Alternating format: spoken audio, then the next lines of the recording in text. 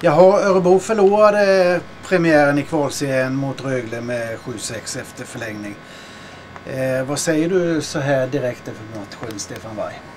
Ja, det är riktigt sur, surt att förlora en sån här match. Det är klart vi kommer in taggade och vill vinna. Eh, båda lagen har inte spelat på länge. Det kanske är därför det ser ut som det gör. Det blir mycket mål, mycket målchanser. Men eh, jag tycker vi ska vinna. Vi har powerplay i slutet, vi har ett par frilägen vi kan sätta dit. Så det hade ingen anledning att det skulle bli så här.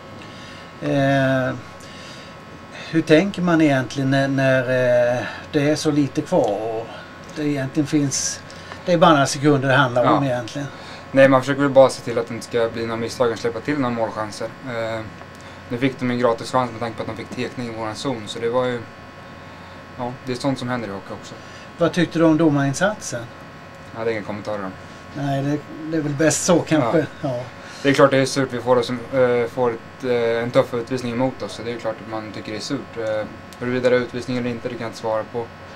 Äh, tycker väl att hela situationen jämnar ut sig själv. De, jag tycker de sätter hård press på våra spelare och kanske förtjänar en utvis utvisning de med. Ja.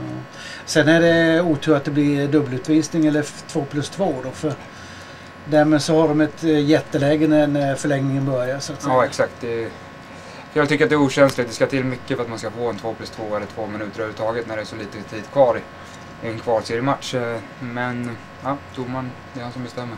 Vad händer nu då? Ni har träning imorgon och sen är det Modo på ja, torsdag? Ja, vi tränar imorgon och sen så flyger vi upp på torsdag morgon förmiddag. Tror jag. Jag har inte riktigt koll på det schemat än. Okej, tack så du. Tack själv.